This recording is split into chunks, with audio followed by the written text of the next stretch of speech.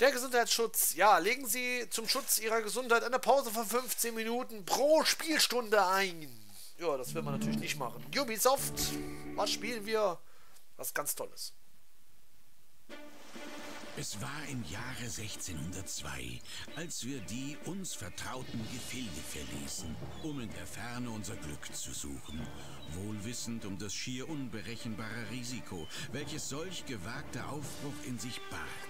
Sämtlichen unserer Befürchtungen zum Trotz entlohnte uns das Schicksal nach langer und beschwerlicher Reise mit einem hübschen Flecken Erde, für den wir alsbald Besitz beanspruchten.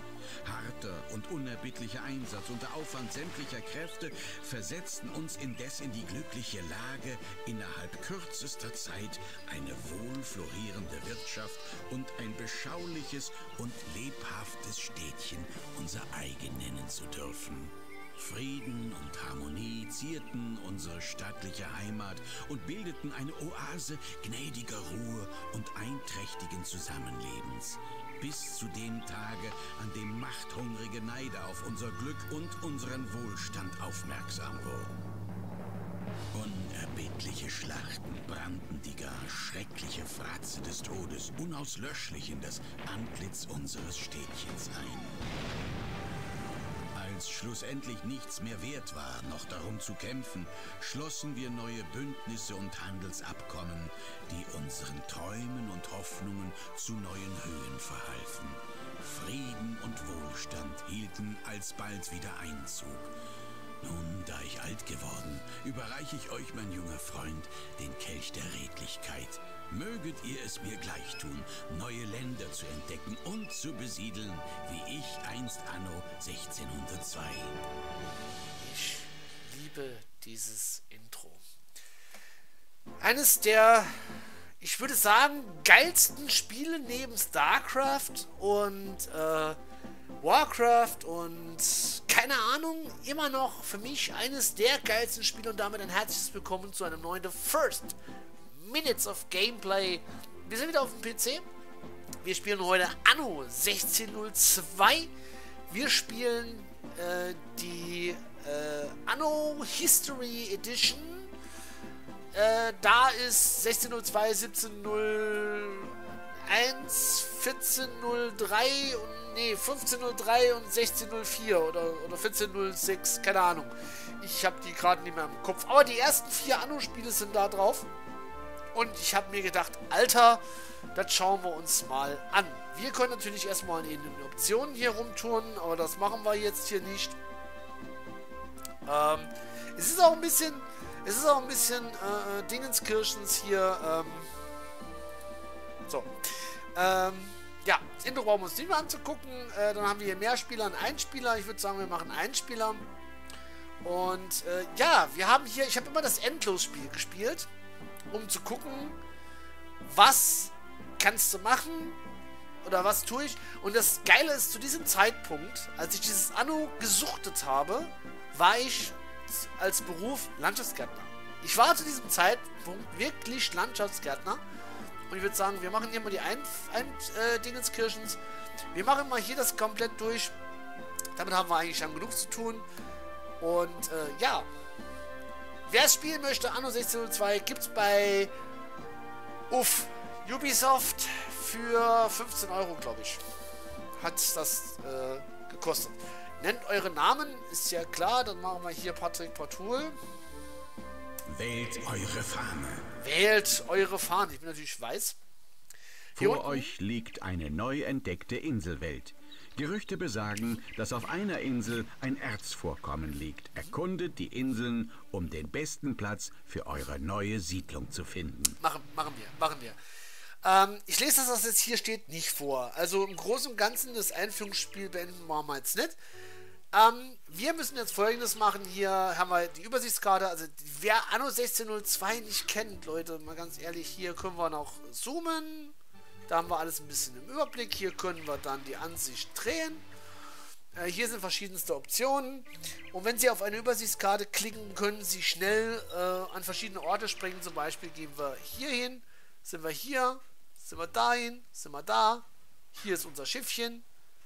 So, und ich bin gerade überlegen, war das die linke oder die rechte Maustaste? Das war die rechte Maustaste.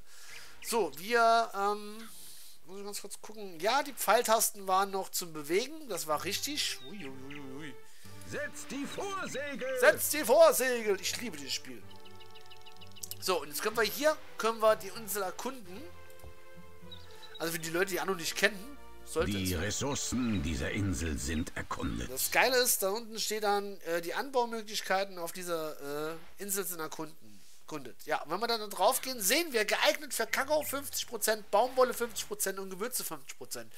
Bedeutet, wenn wir hier Kakao, Baumwolle und Gewürze an, anpflanzen, geht uns die Hälfte der, äh, der Ernte kaputt. Wir suchen aber eine. So, wir machen mal weiter. Kein Erz auf dieser Insel, suchen Sie woanders. Leider hat Ihr Kundschaftler auf dieser Insel kein Erzvorkommen gefunden. Also wir suchen ein Erzvorkommen. Dann gucken wir mal, da könnte ein Erzvorkommen sein. Bin ich überhaupt noch mit meinem Schiff verbunden? Das bin ich. Dann sch schwimme ich mal daher. Und dann erkunden wir das Ganze mal. Es ist richtig schön. Ich habe das geliebt. Ich habe hier Bäume aufgebaut. Ich habe hier eine Stadt hochgezogen. Natürlich alles im friedlichen Modus. Das Ganze ohne Piraten und so. Weil ich habe gesagt, nee, ich mag einfach nur das war. Ich habe mich stundenlang hier in Anno 1602, damals noch unter, unter einem Windows 98 Rechner. Leute, das war ein Windows 98 Rechner. Wir hatten damals Probleme, das glaube ich unter XP zum Laufen zu kriegen. Boah, waren das Zeiten. Ach ja. So, jetzt überlege ich gerade, wo ist denn mein Schiffchen? Was? Wo ist denn mein Schiffchen? Ja? Da kommt mein Schiffchen angedackelt. Hier. Wollte schon sagen, wo bleibst du denn, Junge? Wir sind doch schon hier. Ach, ich liebe dieses Spiel. Habe ich schon gesagt, dass ich dieses Spiel liebe? So. Das ist zum Beispiel sehr geil, um da einen Kontor direkt reinzuprügeln. Jetzt sind wir nämlich auch in der Nähe der Erze. Die Ressourcen dieser Insel sind erkundet. Die Insel bietet Erz. Oh, das ist gut.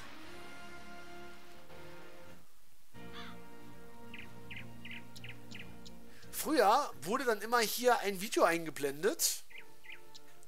So, wir können hier zu 100% Tabak, zu 100% Weintrauben und nur zu 50% Zuckerrohr. Wenn Ihr Schiff auf einer Küste der Insel steht, können Sie diese erkunden. Dadurch verfahren Sie... Ja, das habe ich doch hier, da. In die Wanden! So, hier. Und jetzt können wir den Konto errichten. Das ist hier. Ui, da. Und wir können dann die Waren austauschen. Und zwar brauchen wir natürlich Werkzeug. Wir brauchen äh, Holz. Und wir brauchen Nahrung, damit wir hier was reißen können. So. Herzlichen Glückwunsch, Sie haben Grundste den Grundstein für Ihre Stadt gelegt. Wie es weitergeht, erfahren Sie im Kapitel Besiedeln. So. Wir können eigentlich jetzt theoretisch, äh, ich weiß gar nicht, ob das geht, hier einfach hingehen und äh, weiter loslegen und dann hier äh, Gas geben. Soweit sind wir aber noch nicht. Wir sind erstmal beim Besiedeln, weil wir sind ja das Tutorial machen wir hier durch. Ihr habt eure Besiedlung einer Insel entschieden und bereits ein Konto errichtet. Nun werdet ihr eine kleine Siedlung aufbauen und die Produktion weniger und die Produktion weniger Bedarfsgüter für euer Volk sicherstellen. So, wieder Patrick Patul. Welche Farbe soll euer Badazieren? Jetzt Trauten, wir machen jetzt mal gelb. Hey, wo ist Ihr mein... habt euch für die Besiedlung da, einer da, Insel entschieden und bereits da, ein Kontor errichtet. Nein, da! Ihr werdet nun eine kleine Siedlung aufbauen und die Produktion einiger Bedarfsgüter sicherstellen. Aber übrigens, mit dem Mausrad kann man scrollen, also zoomen. So. Äh, den Baumodus aktivieren. Dann aktivieren wir diesen Baumodus. Wir gehen hier mal auf die Farmen und... Äh, nachdem, ähm, nachdem Sie nun ein Konto errichtet haben, können Sie sicher daran, daran machen können sich daran machen, ihre Siedlung aufzubauen. Zunächst sollten sie ihre Versorgung mit Holz und Nahrung sicherstellen. Wenn die Res Reserven, Reserven ihrem Kontor äh, halten nicht ewig, bauen sie eine Forsthalle, ein Forsthaus und äh, in ein Waldgebiet, das möglichst viele Bäume sein äh, Einzugsgebiet, das ist das Gebiet innerhalb des Markierungen liegen. Äh, was meint er damit? Ganz einfach, wenn wir hier hingehen, sehen wir hier quasi um unser Forsthaus drumherum, also ich sage nochmal für die Leute, die kein Anno spielen, das ist der Bereich, in dem sich der Förster bewegt, in dem der Förster arbeitet. So. Dann müssen wir hier zum Hafen, dann müssen wir hier ein paar Fischerhütte bauen. Die bauen wir hier. Straßen, bauen wir diese hier, weil wir müssen ja den... Ähm, das Holz zum Kontor bringen. Dann haben wir hier öffentliche Gebäude. Haben wir hier öffentliche Gebäude.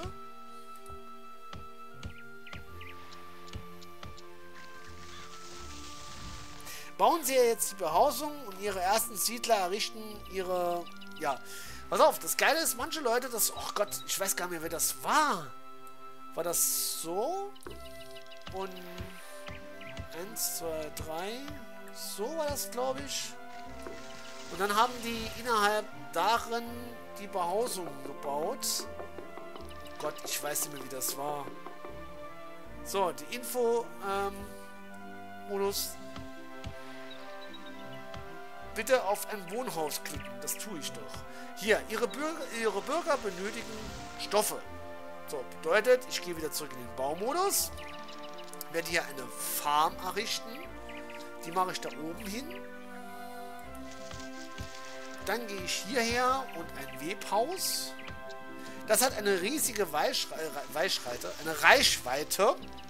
So, jetzt haben wir hier äh, zu wenig Holz. Oh, wir haben zu wenig Holz. Das heißt, wir müssen jetzt warten, bis genügend Holz da oben ist. Achso, ich habe ja schon. Okay, Entschuldigung. Äh, wir gehen nochmal zurück in den Baumodus. Ich habe gerade Scheiße gebastelt. Und wir machen einen Marktplatz. Der braucht aber jetzt 10 Holz. Den haben wir noch nicht. Dann warten wir. Der Marktplatz tut uns auch die Sichtreichweite. Also wenn wir hier hingehen, das ist unser Sichtradius. Weiter können wir nicht bauen. An diesem Sichtradius können wir bauen. Wenn wir aber hingehen, einen Marktplatz errichten, zum Beispiel hier, erweitern wir das Sichtfeld der gesamten Insel und können überall dort bauen, wo es sichtbar ist. So. Guck ich mal ganz kurz. Muss man warten, bis wir Holz haben. Wir können mit den ähm, F-Tasten ähm, F5 bis F7 können wir machen. Dann sind wir jetzt bei F5, F6, F7 und dann sind wir jetzt bei den schnellsten. Also das Ding läuft jetzt richtig schnell. Und wenn wir dann 10 Holz haben, dann würde ich das Ganze nochmal auf normal stellen. Schöne finde ich immer, dass äh, der... Also warte mal. Stopp, halt. Moment. Halt, stopp. Bop, bop, bop, bop, bop, bop. 1, 2, 3, 4, 5, 5. Und zwar habe ich überhaupt mal so doof in, in, den Raum reingefragt. Ähm gut, ich, ich sage einfach mal ja. So, Baumodus aktivieren, dann sind wir da. Ja, wir haben aber noch einen fehlt uns, noch einer fehlt uns, einer fehlt uns. Und wenn, er, wenn wir nicht genügend Ressourcen haben, blinkt unser Gebäude. Das heißt, wir können es nicht setzen. Haben wir genügend Ressourcen, ist es sichtbar. Also bleibt es äh, permanent sichtbar. Nochmal, bevor jetzt jemand hier, ich äh, gehe davon aus, dass es einige Leute gibt, die äh, Anno 1602 nicht kennen. So, Jetzt hört man immer schön diesen Baum fällen, das finde ich ganz gut. Das Schöne ist, die Bäume wachsen alle nach und man kann immer wieder fällen. Das heißt also, wenn auch hier alles abgerodet wird, so, jetzt haben wir genügend Ressourcen, ich kann das bauen. Hey, wir haben einen Marktplatz, da können wir handeln mit allen Gegenständen und wie gesagt, wenn wir jetzt hier hingehen, wir können hier auch jetzt bauen, hier in dieser Umgebung. So. Ihr besitzt jetzt genug Wissen, um die Siedlung aufzubauen. Ihre Bevölkerung zu versorgen. Im Kapitel Diplomat Diplomatie und Handel erfahren Sie, wie Sie mit Ihren Mitbewerbern Handelsbeziehungen aufnehmen. Ja, ähm, das machen wir auch jetzt. Wir sind natürlich wieder der Panikpatron ohne Hashtag. Wählt eure Flagge. Und da wir jetzt da, gehen wir jetzt rot. Was ist denn jetzt Für kaputt? den Ausbau eurer Siedlung werden Ziegel benötigt. Ja, wir haben- Vorläufig müsst ihr diese importieren. Ja, das da haben kein wir- Berg auf eurer Insel vorhanden ist. Warum? Beginnt eure diplomatischen Beziehungen und Ja. bietet ein Handelsabkommen an. Ich wollte es doch erklären. Mensch. ähm, bitte die rechte Ma Maustaste, Maustaste hier. So, Euch wird ein Handelsvertrag angeboten. ähm, wo haben wir jetzt hier Handelsvertrag anbieten? Ähm, ja. Äh, super. Wir haben einen Handels wir haben hier einen Friedensvertrag, einen Handelsvertrag und hier sehen wir, ob wir Dinger gut für Tribut anbieten, ja oder nein. Ähm, Tufte. Äh, bitte rechte Maustaste klicken. Auf Kontor des Handelspartners klicken. Das tue ich. Äh, klicken Sie bitte Ihr Schiff. Mach ich hier, da. Oh. Nein, da. Hallo. Setzt neuen Kurs. Ei, ei, Captain. So. Ware austauschen. Wir wollen. Was wollen wir denn? Gehen mal weiter. Ja, die Waren sind wir jetzt durchgegangen. Schön. Ähm. Was will der Mann eigentlich? Sie können jetzt die Stoffe aus dem Konto in den Lagerraum Ihres Schiffes machen. Also er will Stoffe haben. Das machen wir doch klar. 10 Stoffe, 20 Stoffe. Wie viel braucht er? Steht das da? Klicken Sie Bedarfsgüter auf Bedarfsgüter und danach so lange Waren es durchgehen, bis Sie in Symbolstoffe kommen. Erkennen. Klicken Sie es an, ähm, mit Ware zum Schiff laden. Das machen wir ja gerade. Wird mit jedem Klick eingestellte Handelsmenge in das Schiff geladen. Laden Sie den gesamten Bestand Ihrer Stoffe in das Schiff. Das mache ich. So. Und jetzt zum Kontor des Gegners fahren. Anker lichten. Anker lichten. So, das ist hier oben. Da steht aber jetzt ein anderes Schiff. Hier. Ist egal. Wir werden irgendwie... Stoffe sind Mangelware. Ja, aber ich soll ja hier Waren handeln. Dann äh, machen wir hier alles rüber. Da alles rüber. Und äh, okay, das scheint schon geholfen zu haben. Äh, fahren Sie nun zu Ihrem Konto zurück und die angekauften Ziegel. Das werde ich tun. Hallo? Ja, ja, ja, ja, ja. Warte mal, wo ist mein Konto? Hier? Hallo, mein Schiff. Mein Schiff. Mein Königreich für ein Schiff. Komm her! Setzt die Vorsegel. Ja, und dann laden wir die Ziegel natürlich wieder aus. So. Und dann erstmal die Ziegel. Sehr gut. Und dann das da. Ja, äh, Sie wissen jetzt, wie wir mit Waren versorgen können. Ja, wir können aber auch einfach hingehen und sagen, wir bieten Waren an, die wir verkaufen. Und suchen Ware, die wir wiederum einkaufen. Das können wir natürlich auch machen, aber ich glaube, das wird hier gleich passiert. So, Seeschlachten. Oha. Assassin's Creed Black Flag, Leute. Jetzt geht's hier Welche ruhig. Farbe soll euer So, Banner blau hatten wir noch nicht. Hallo? Wieso? Hallo? Ein feindliches Schiff ist in eure Gewässer Ja? eingedrungen. Ja? Was? Kanonen einsatzbereit machen, das mache ich doch. Hier. So. Den Gegner mit dem großen... Was? Hier. Volle Breitseite. Okay. Anker lichten. Ich weiß nicht, ob das jetzt so ist, aber... Ich glaube, wir gehen jetzt unter. Was? Mit beiden kleinen Schiffen angreifen? Das mache ich doch gerade. Fertig zum Enten. Versenkt die Landratten. Jawohl, mach das weg hier. So, Patrouillen festlegen. Äh, Patrouillenpunkt. ähm, das ist dann hier.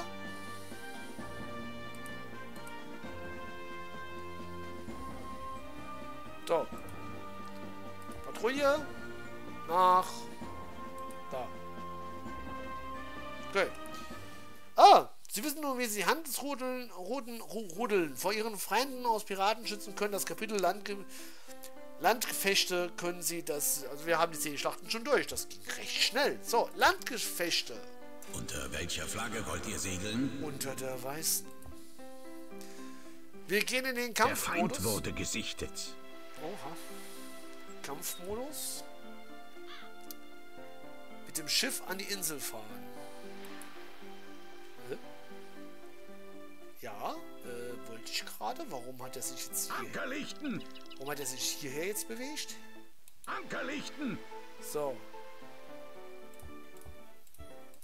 So, alles ausladen. Das tun wir. Alles markieren. Äh, Schiff. Ankerlichten! So. Jetzt ähm, Auswahl der Kavallerie. Was? Auf Kavallerie beschränken. Das machen wir. Mit den Kavalleristen den Gegner angreifen. Das tun wir. Tasche. Äh, äh, Tasche.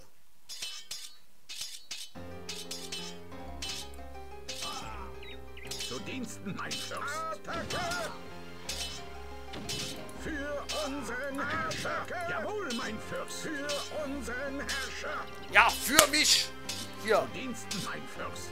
Mach den kaputt. Für unseren Herrscher. Jawohl, mein Fürst. Für unseren Herrscher. Für unseren Herrscher. Ja, mach den Putt. Ah, gut. Habe ich besiegt. Sehr schön. Ja, wir können uns unsere eigene Welt erschaffen. Ah, geil. Wir haben das Einführungs... Die Einführung haben wir durch. Finde ich ganz gut.